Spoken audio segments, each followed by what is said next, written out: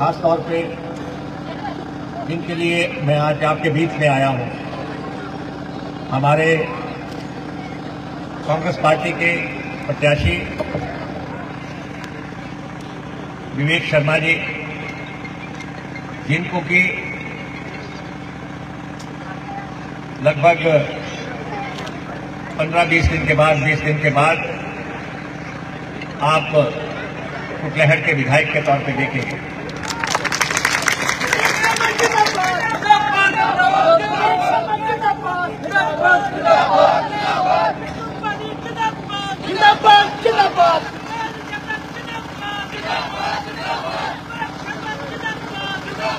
हमारे हमीरपुर संसदीय सीट से पार्टी के उम्मीदवार श्री सतपाल रायजादा की धर्मपत्नी श्रीमती रायजादा भी यहाँ पे मौजूद हैं। हमारे कुटलहर विधानसभा के उम्मीदवार विवेक शर्मा जी की धर्मपत्नी श्रीमती शर्मा जी यहाँ पे मौजूद हैं। जब पत्नियाँ घर से निकल पड़ती हैं तो समझो कि काम होने वाला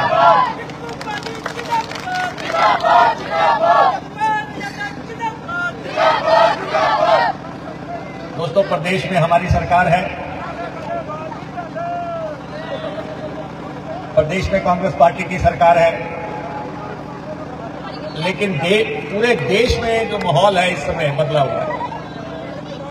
मैं अभी रायबरेली से आ रहा हूँ। वहाँ पे हमारी मीटिंगें थी। राहुल गांधी जी, वहाँ से चुनाव लड़ रहे हैं। और ज़बरदस्त एक प्रचंड लहर राहुल गांधी जी की वहाँ पे चल रही है। प्रचंड लहर है। मुझे लगता है कि अब की बार पाँच लाख पार।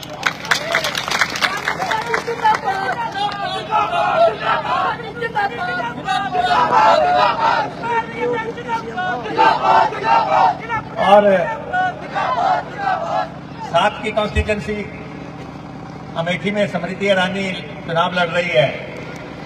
मुझे लगता है कि उसका भी हो गया काम तमाम।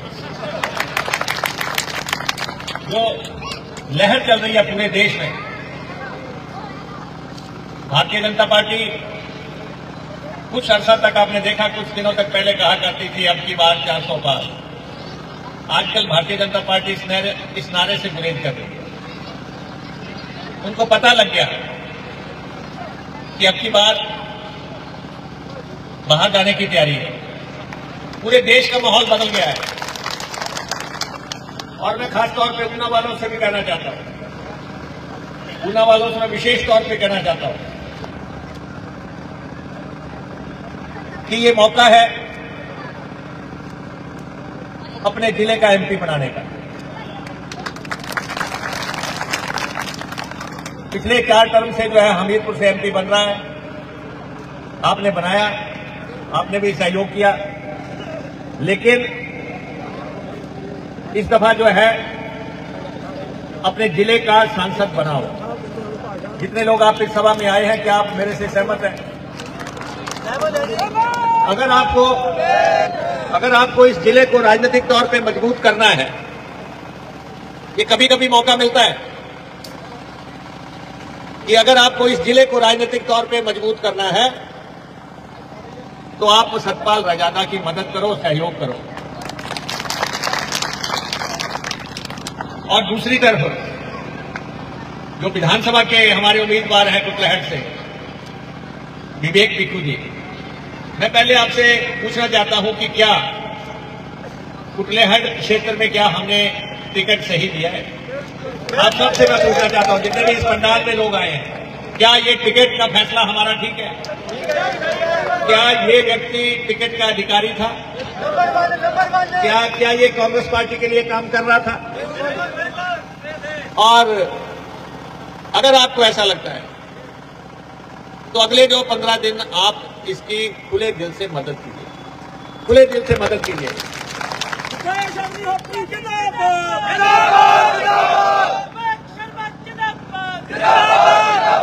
हम हम हम एक बहुत ही हम एक बहुत ही पावन स्थल पे ये मीटिंग कर रहे हैं। महादेव जी का ये क्षेत्र है। और उस क्षेत्र में जब आप मीटिंग कर रहे हैं, जब आप हाथ उठा रहे हैं तो इसका मतलब यह है कि प्रभु का आशीर्वाद आपके रूप में विवेक जी पे बरस रहा है। इन पे बरस रहा है। ये ज़रूर मैंने इनको कहा। अभी मैं नालागढ़ में मीटिंगें करके आया। वहाँ लोग कह रहे थे कि जो व्यक्ति अभी एमपी बनने हैं या जो एमएलए बनने हैं, इनको आप क्या सीख देते हैं कि आप 25 साल से एमएलए चल रहे हैं, लगातार एमएलए हैं? आपकी जनता आपको वोट डालती है। तो आप क्या क्या इनको कहना चाहते हैं? तो मैं तो विवेक जी को यही कहूँगा। वो तो पंजाबी में कहते हैं ना कि ब्याह करवा के वे मिलता गिरता नहीं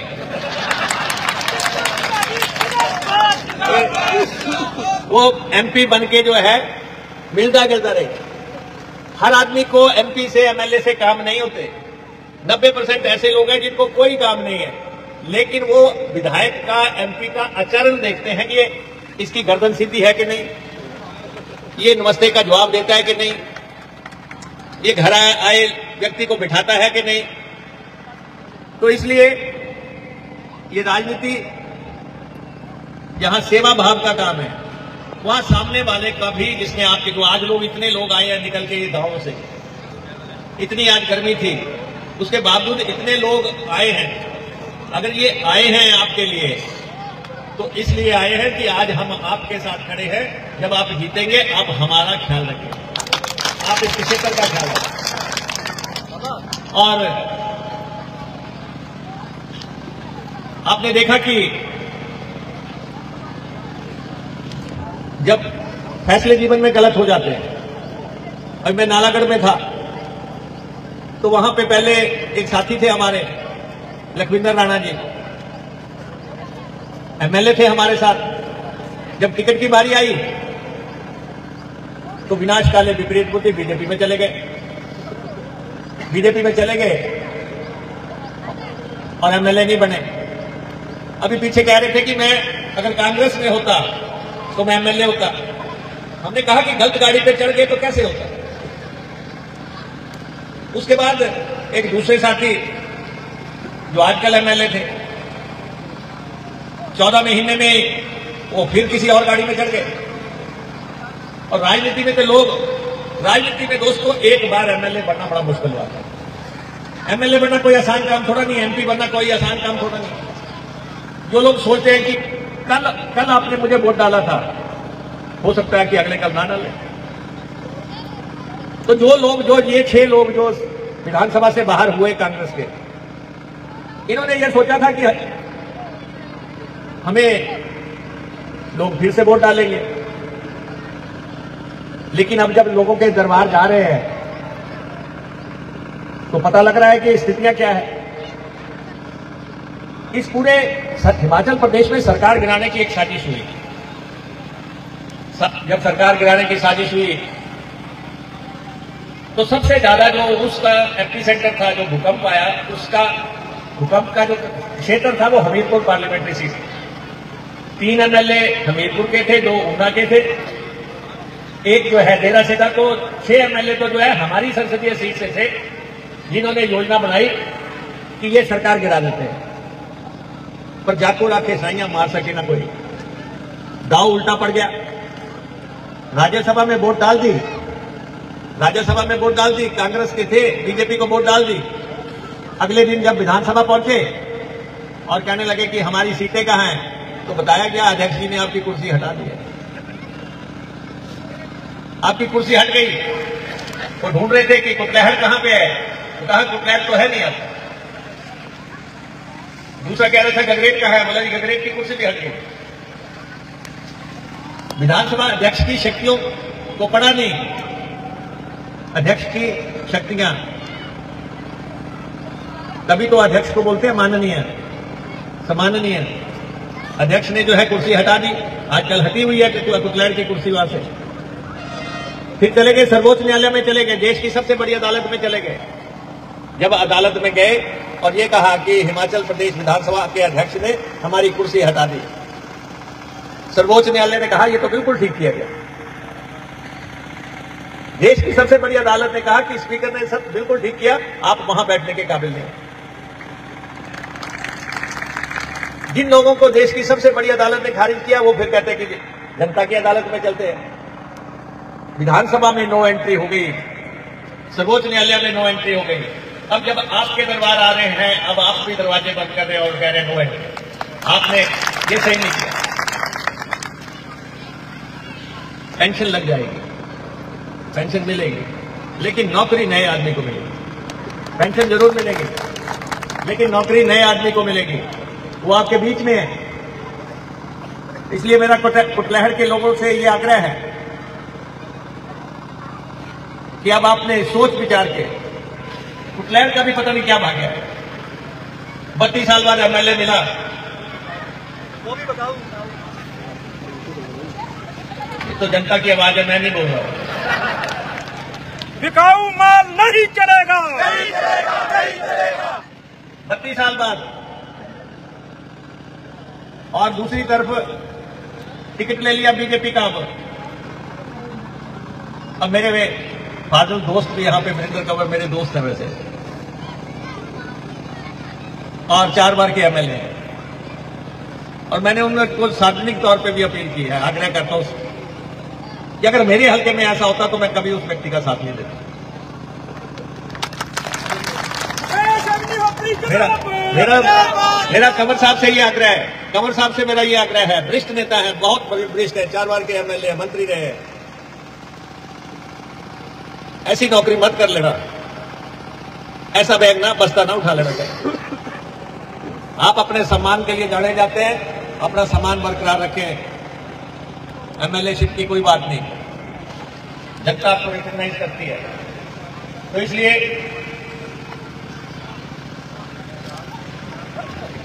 सारा सारे, सारा हिमाचल देख रहा है, सारे हिमाचल में। सरकार गिरने की कोई बात नहीं है, ये तो मैं आपको बता देता हूँ। ये तो बीजेपी, आपने पीछे सुना होगा, बीजेपी ने कहा था कि इसके बाद हमारे 25 के 25 एमएलए इस्तीफा देंगे। हम तो कह रहे हैं दो ना क्यों नहीं दे रहे? जब आपने लोगों के, लोगों को ये कहा 25 लोग इस्तीफा देंगे तो क्यों नहीं दे रहे? क्योंकि ट्रेलर हमने दिखा दी है। फ़िल्म हम चार जून को दिखा देंगे। फुल लेंथ फुल फ़िल्म दिखाएँगे चार चार जून को। और आप आप देख रहे हैं, मुंबई से कंगना जी आई है। कंगना जी कह रही है, मैं तो हिट फ़िल्म देने के लिए जानी जाती हूँ। हमने कहा, अब आप जयराम की प्रोड्यूसर प्रोडक्शन हाउस में आ गई हैं फ्लॉप हो जाओगे। लगातार कह रही थी, ये राजनीति बड़ी टेढ़ी चीज़ है, जिसके बारे में कुछ ना पता हो राजनीति वो सब चीज़ें बाहर ला देते कि कौन क्या कर रहा है? जैसे अभी यहाँ पे बोल रहे थे यहाँ कोई कह रहा था कि यहाँ शराब का कारखाना लग रहा था या प्रेशर लग रहा था। अब चिंता मत करो। मुकेश अग्निहोत्री इस ज़िले का कस्टोडियन है आप।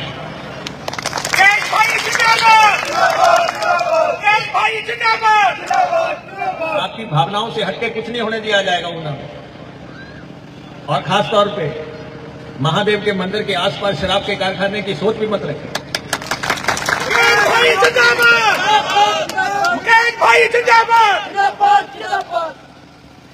ये बहुत ही पावन स्थल है, पावन नगरी है आपकी। तो इसलिए यहाँ पे सोचना। मैं आपको बताऊँ कि एक बार ऐसा ही जेल बनने की बारी आई थी। तो बाबा रुद्रू जी के धाम के आसपास जो है जेल बनने लगा था। तो महाराज का मुझे संदेश आया, उन्होंने कहा, इतनी बड़ी तपोस्थली है और आप साथ में जेल बना रहे हैं। हमने कहा, आपका बोलना ही काफ़ी है। आपने कह दिया कि यहाँ पे जेल नहीं बनेगा, जेल को दाएँ बाएँ कर दिया जाएगा और आपकी कॉन्स्टिट्यूंसी तो बड़ी पवित्र नगरी है, बहुत पवित्र है। एक तरफ़ बाबा बाल जी आपकी कॉन्स्टिट्यूंसी में है, दूसरी तरफ़ रुद्रागंज जी का धाम आपके यहाँ पे है। बनौड़े महादेव जी आपके पास है। और महादेव जी का स्थान आपके यहाँ पे है। हर तरफ़ जो है, आप तो बहुत ही पूजनीय और वंदनीय लोग हैं कुतलैर कॉन्स्टिट्यूंसी के, कि जो ऐसे, ऐसी नगरी में रहते हैं। और फिर इतने ईश्वरीय स्थल यहाँ होने के बाद ये यहाँ के एमएलए को हुआ क्या? मुझे तो ये नहीं समझा विनाशकाल विपरीत होते कुछ ना कुछ तो सोचना चाहिए। और और हमें जो है, इनसे भी कहना चाहूँगा मैं जो विवेक जी से भी। जनता का जो प्रतिनिधि होता है, वो जनता के लिए मैं मैं 25 साल का एमएलए हो गया, मेरा मेरा ना कोई बस चलता है, ना मेरा ट्रक चलता है, ना मेरा कोई कारखाना है, ना मेरा कोई प्रेशर है, ना मेरी कोई और ऐसा कारोबार है। सब कुछ है जनता है। जो कुछ भी करना है जनता के लिए करना है।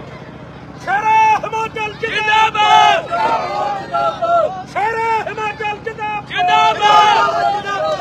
अभी मैं सोनिया जी की कॉन्स्टिट्यूंसी से आया, राहुल जी जिससे चुनाव लड़ रहे मैं देख रहा था कि सोनिया जी वहाँ से पाँच बार एमपी बने। इंदिरा जी वहाँ से एमपी बने। तो मैंने वहाँ के लोगों से पूछा कि इनकी जीत का कारण क्या है? तो उन्होंने कहा कि ऐसा दफ्तर बना हुआ है कि एक फ़ोन पे कॉन्स्टिट्यूंसी का कोई भी आदमी बीमार हो जाए। कॉन्स्टिट्यूंसी के किसी भी बच्चे को एजुकेशन के लिए पैसे की ज़रूरत हो, कोई और काम पड़ जाए, एक फ़ोन कॉल पे सब चीज़ें उपलब्ध है। यही सांसद और विधायक की असली जिम्मेवारी है। और फ़ोन को फ़ोन को उठाना जो है। ये जो लोग फ़ोन स्विच ऑफ़ कर देते हैं, ये जनता भी फिर ऑफ़ कर देती है। ये खुले रखने की बात है। क्योंकि तो मौका तो हर व्यक्ति का आता है। आज जनता का आया हुआ है और जनता ने वोट डालनी है। तो इसलिए मेरा आपसे ये आग्रह है। कि विवेक भी लंबे अरसे से संघर्ष कर रहा है। एक अरसा से यह संघर्ष कर रहा है। और इस दफ़ा जो है, आप अपने दोनों हाथ इसके सर पे रखो, इसकी पीठ पे रखो। इसको एमएलए बनाओ। एक बार परखो आप। आप परखो और उसके बाद हम कोशिश करेंगे इलाके के विकास के लिए, कल्याण के लिए, गरीब की सेवा के एजेंडे को हम आगे लेके जाएँ।